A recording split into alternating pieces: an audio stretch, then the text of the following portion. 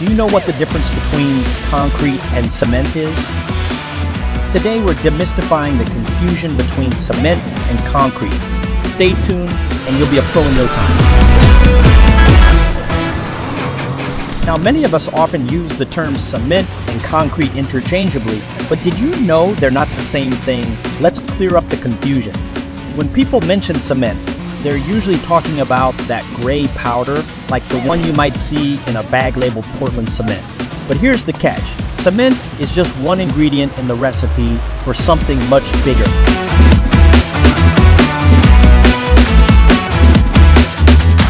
Ever wondered how Portland cement is made?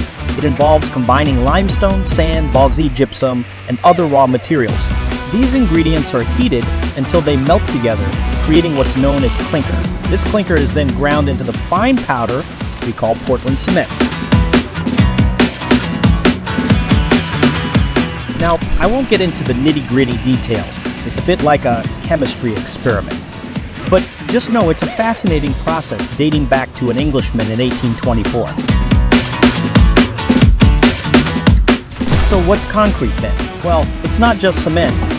Concrete is a mix of stone, which can be rock or gravel, sand, Portland cement, and water. Think of it as a delicious construction smoothie where each ingredient plays a vital role.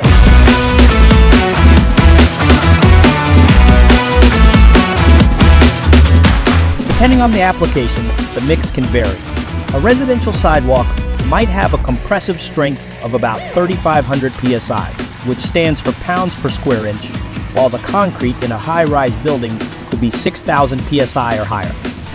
The beauty of concrete is that its properties can be altered by adding specific ingredients. Want it to set faster? No problem. Need protection from freeze-thaw cycles?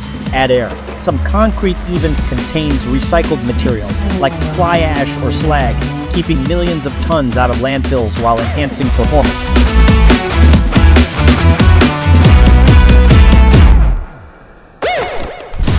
In a nutshell, cement is the powdered superhero, and concrete is the mighty material used to construct sidewalks, driveways, and buildings. It's a dynamic duo, and now you know the difference.